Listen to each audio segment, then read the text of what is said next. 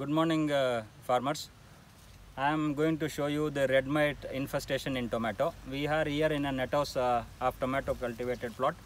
You see here there is a severe red mite infestation. Normally, when we see the red mites attack, we we can see this kind of uh, you know uh, most of the people think that this is a nutrient deficiency but when you turn the dorsal side of the leaf other side you will find the red mites in colonies you see here. They are here. The red mites are very visible here and they start uh, feeding uh, uh, on the chlorophyll content. And then after that you will find a uh, loss of the chlorophyll. This kind of deficiency symptoms happens. So normally these red uh, red spider mites when there is a high humidity high rainfall when there is a high temperature inside the net house or polyhouse in open field they multiply quite fast so whenever we see this kind of change in the climatic condition, so we need to take a preventive spray for red mites.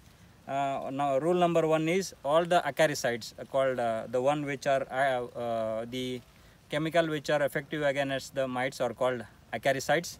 We have to uh, spray them alone like they are not compatible. They should not be mixed with any fungicide and any other insecticide.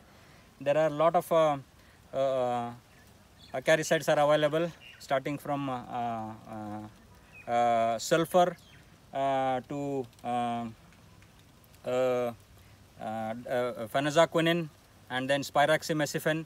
There are uh, uh, uh, hexythiazox. Lot of uh, uh, uh, uh, acaricides are available in the market. Please take up a preventive spray when you see this kind of uh, mite uh, uh, infestation. So this is one peculiar uh, red mite and it is quite devastate, uh, devastative. So be careful when it rains and then there is a high temperature and high hum- humidity condition. Once you notice you have to take up the preventive sprays.